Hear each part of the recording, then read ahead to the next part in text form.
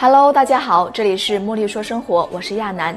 随着年龄的增长啊，人体的身体会逐渐的衰老，很多人都想要一个不老的容颜，特别是女性会更加注意身体的保养。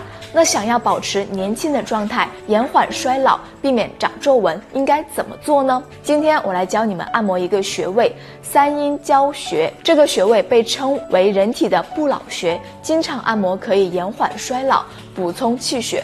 滋润皮肤、养颜美容、保持身体的年轻状态。